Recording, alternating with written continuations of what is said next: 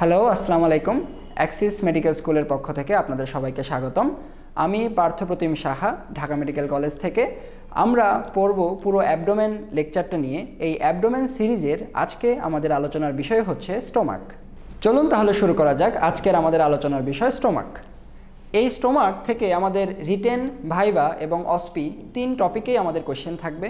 সুতরাং এটা আমাদের ভালো করে পড়তে হবে। প্রথমে আমি আজকে রেখেছি বেসিক কিছু অ্যানাটমি অর্থাৎ স্টোমাকের স্ট্রাকচার এবং স্টোমাকের কী কী পার্টস আছে যেগুলো আমাদের ভাইবার জন্য খুবই গুরুত্বপূর্ণ। স্টোমাকের বেসিক স্ট্রাকচার হচ্ছে এটার ফিগারটা হচ্ছে এরকম। এটা একটা ফিউজি ফর্ম বলা হয় ফিউজি ফর্ম একটি স্ট্রাকচার এর তিনটি অংশ আছে, একটি ফান্ডাস একটি বডি এবং পাইলোরিক পার্ট এবং দুইটি এন্ড একটি কার্ডিয়াক এন্ড একটি পাইলোরিক এন্ড এই পাইলোরিক পার্টটি আবার তিনটি ভাগে ভাগ করা।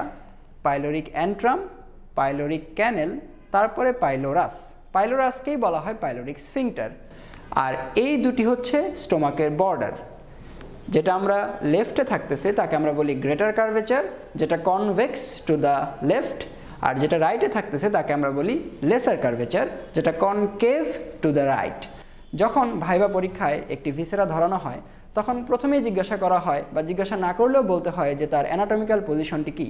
তাহলে ধরুন, আমি একটি স্টমাকের ভিসেরা হাতে নিলাম, আমাকে বলতে বলল যে তুমি এটা শুরু করো। আমি তারপর হাতে নিব। বলব this is the viscera of stomach with lesser and greater omentum মাঝে মাঝে part of abdominal part of ইসোফেগাসও লাগানো থাকে। আর লেসার অ্যান্ড গ্রেটার ওমেন্টামটা লাগানো থাকে এই লেসার কার্ভেচার এবং গ্রেটার কার্ভেচারে তারপরে শুরু করব। আমরা দুইটা এন্ড আগে বলে নিব। The cardiac end lies two point five centimeter left of the midline at the level of thoracic eleventh vertebra and the pyloric end lies one point lies 1.25 centimeter right of the midline at the level of lumbar 1 vertebra. এই দুটো N বলার পরে আমি বলব laser and greater curvature একটা বললেই হয়। আমি যদি বলি lesser curvature lesser curvature lies to the right and is concave to the right অথবা শুধু এতটুকু বললেও হয় the lesser curvature is concave to the right তারপর আমি একটা সারফেস বলব।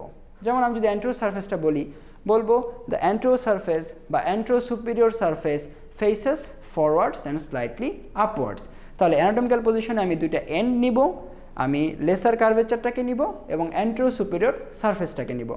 এতটুকু বলার পরে আমাদের নেক্সট কোয়েশ্চেনগুলো স্টার্ট হবে।